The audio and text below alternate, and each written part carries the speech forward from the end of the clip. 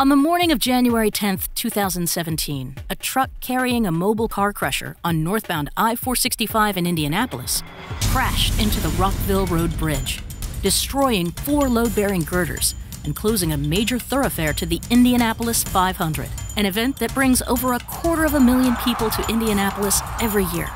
Facing an emergency situation, the Indiana Department of Transportation turned to Gordian's job order contracting solution to expedite demolition and reconstruction ahead of race day. I didn't really know how bad the damage was with my own eyes until I got into the office and saw some photos from the news and uh, immediately we could see it was bad. The southernmost three beam lines were completely destroyed. The concrete was completely shattered and gone. There was a little bit of rebar cage left. The pre-stressing strands were all severed in those three beams. And then the fourth beam line in was badly damaged as well. The uh, first four beams on the south end of the bridge had been sheared through from the impact of the crusher, which had broken a substantial amount of the reinforcing tendons that hold the beams in the air.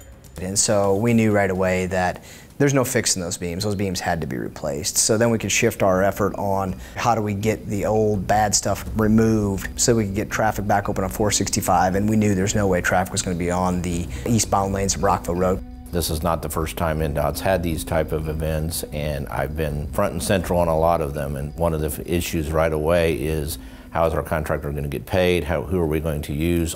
Fortunately, we had been doing IDIQ or job order contracting with our contractor Rieth-Riley, and this was a good way to be able to mobilize a contractor quickly. They were on site within a couple hours, and we were able to start the discussions on what needed to be done. And having that job order contracting available kind of gave us a framework to start with.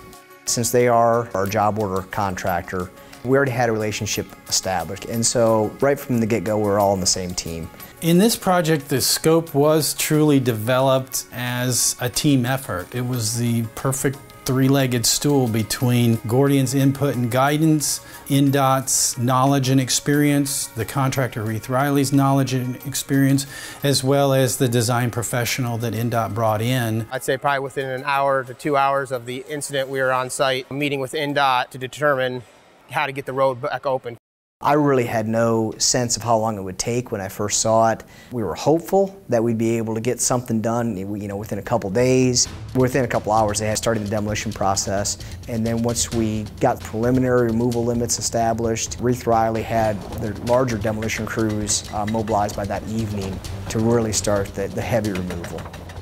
Original plan, I think, called for three or four days of possible closure. The JOC contract gave us that existing the relationship to be able to respond and get out there quicker, and it was actually opened within about 36 hours of the incident. As we got further into the process, we knew we were going to use the job order contracting for the first part. The second part was to replace the four beams. Procurement would have taken three to six months just getting beams. That was unacceptable to us. Concrete beams of that length are not common, so there was a decent amount of lead time that INDOT worked on procuring that on the front end. So we were able to uh, use this contract to immediately go into procurement of the beams. By using job order contracting, we were almost in a design build sort of mode where the contractor was able to work on some critical path items as uh, plans were still being developed to put things back together. We have a little race in Indianapolis every May, so we really wanted to see, was this even possible to get this bridge back open again before the race? And once things started falling into place, it became apparent that we might have a shot. Luckily, things fell into place. As a matter of fact, we got the bridge open by the beginning of May.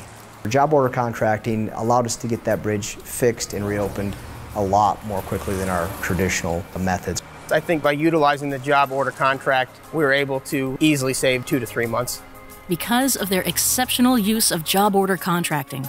Both the Indiana Department of Transportation and Rieth-Riley Construction were honored with the 2017 Harry H. Mellon Award of Excellence in Job Order Contracting. This was a case where something had to happen quickly, and we were able to pull out all the stops and go get it. And being a construction guy, that's what you love.